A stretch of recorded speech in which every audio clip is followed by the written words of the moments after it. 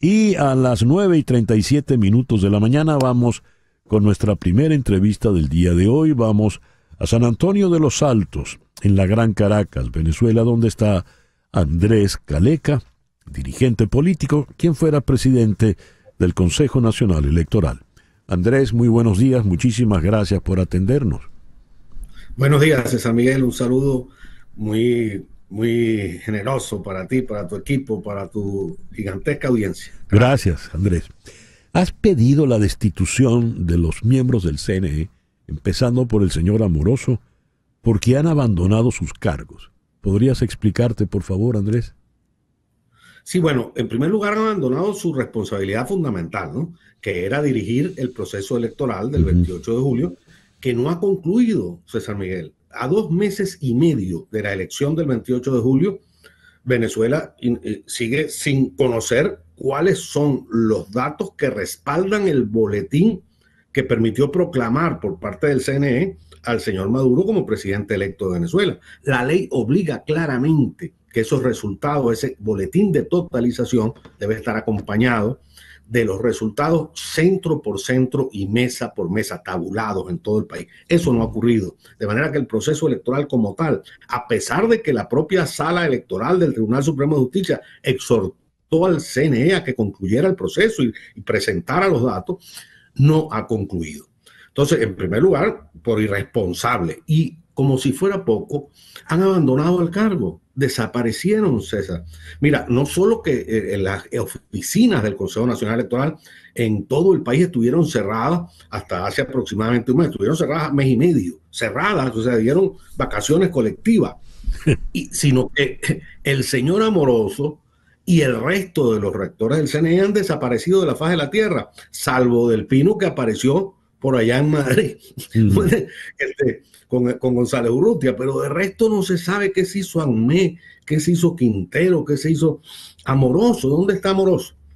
Eh, bueno, entonces, eh, en este momento, la Asamblea Nacional, huyendo hacia adelante, Jorge Rodríguez, eh, tú sabes, asustado, porque bueno, la derrota que tiene en sus manos es gigantesca, era el jefe del comando de campaña.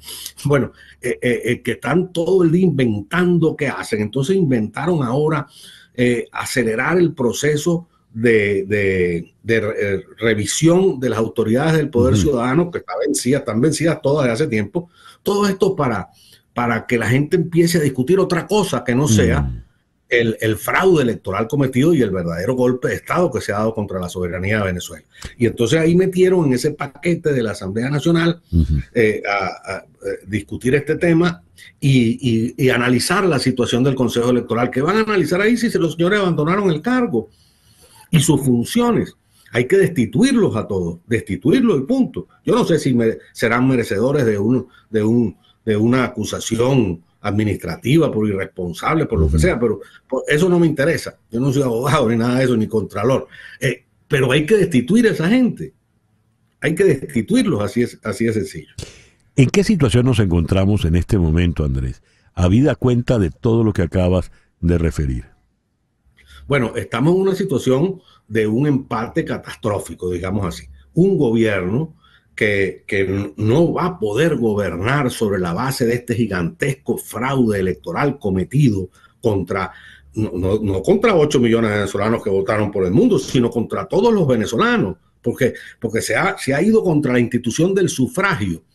Y la institución del sufragio, según nuestra, nuestra eh, pacto social, que es la constitución de la República, la institución del sufragio es la base de la soberanía nacional, la cual a su vez es la base de la República. Es decir, la República de Venezuela ha sido destruida por este, por este gigantesco fraude electoral cometido por Maduro y su combo. Y en consecuencia Venezuela está en una situación eh, eh, que puede conducir a una anarquía terrible. O sea, no hay república, no hay instituciones. No solo el Consejo Nacional Electoral, el Tribunal Supremo de Justicia, el Ejecutivo. Maduro se mantiene allí, por, por supuesto, por los retazos de institucionalidad que todavía le quedan, porque él, eh, bueno, es presidente en funciones hasta el 10 de enero. Fíjate, Andrés, perdona que te interrumpa, pero es que lo que has dicho es extremadamente grave. Te cito, la república ha sido destruida. Es decir, no hay república. Te pregunto, Si no hay república, ¿qué es lo que hay? Pero lo que hay es un, un, un, grupo que ha asaltado el poder en Venezuela. Eh, eh, por cierto, este grupo heredero, heredero de los golpistas de 1992, la mm. continuación del golpismo. Este es un proceso, este es un proceso que comienza en 1992 cuando unos sectores eh, eh, conspiradores de la Fuerza Armada atentan contra la Constitución y contra la República en su momento. Luego, eh, después de dos derrotas sangrientas, por cierto, dos golpes de Estado sangrientos derrotados, se, se encaminaron por la vía electoral fuimos tan generosos que les permitimos participar en la vía electoral, ganaron las elecciones y a partir del día uno empezaron a destruir la República.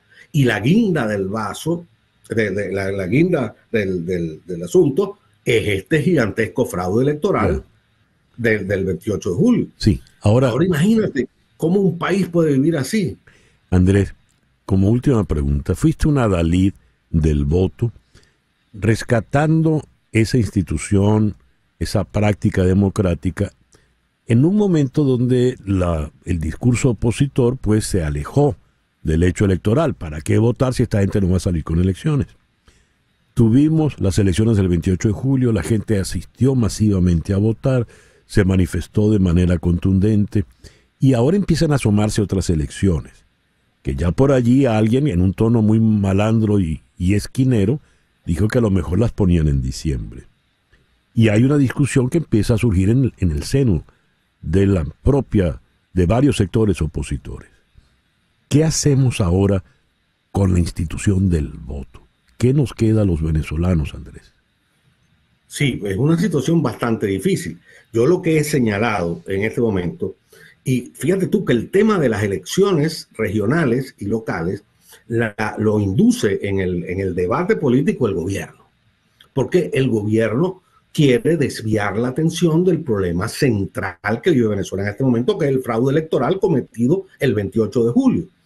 Entonces, yo lo que he planteado en este momento a las fuerzas democráticas venezolanas, felizmente, la plataforma unitaria, como lo dije ayer en, en una declaración, la plataforma unitaria no ha discutido esto, ese tema de discusión no está en la mesa de las fuerzas democráticas venezolanas, ni en la, ni en la mesa de 20 de Venezuela, ni en la de los partidos de la plataforma unitaria.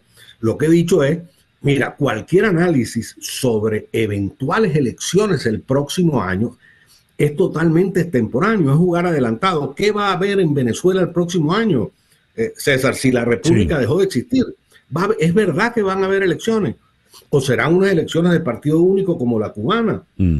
O, en fin, no sabemos cómo, cómo, cómo nosotros podemos eh, desviar la atención de lo que es central en este momento en Venezuela, que es que se ha atentado militarmente por la fuerza contra la voluntad soberana de los venezolanos. Ese es el tema central.